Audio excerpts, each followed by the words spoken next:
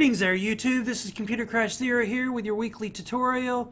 Today instead of showing you batch files, hello worlds, user input, I'm going to show you how to use the command line.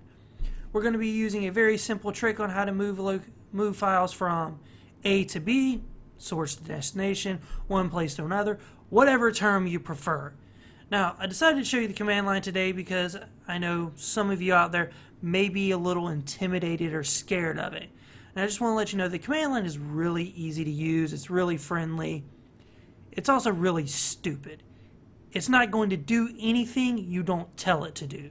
Now there are limitations, but those are far into the tutorials I'll be making for you. So let's hop right into this. We're going to use the robocopy command. And what robocopy is going to allow us to do is move my music here to here.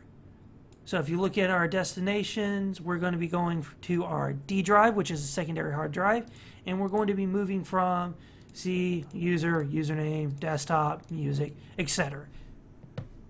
Now, we need to go ahead and open up the command prompt. So we can do that by going to start, typing in cmd, go ahead and hit enter. No need to run it with administrative privileges.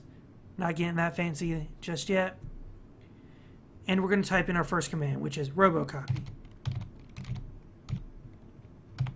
We're going to put a space in there, and we're going to grab our source, which is C, user, username, desktop, music, and we're going to paste it in. Add another space, grab our destination. In this case, it's just the D drive.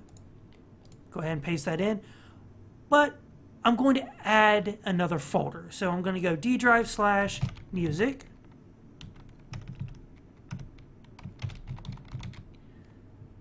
and I'm going to add another folder. So we're going to go slash, I'm going to put in the name of the band, All That Remains. We're going to go space, and we're going to add in two switches. What we're going to do is add in the switch for E. Now this allows us to copy everything from our source. Then we're going to go space and add in the switch create. This allows us to create a folder that doesn't exist. So as you can see here in my destination, there is no folder called music. There is also no folder called all that remains.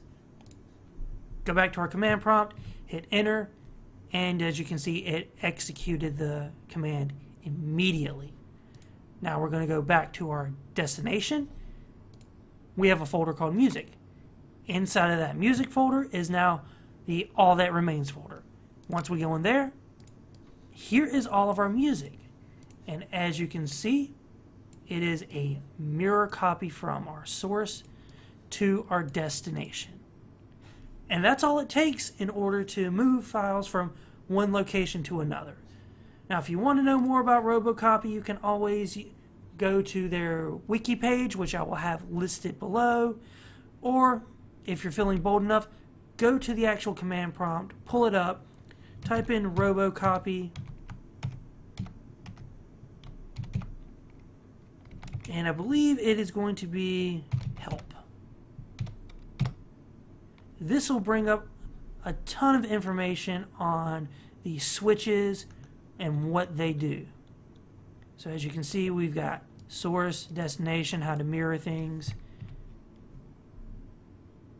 and that is your quick introduction into using Robocopy with the command line.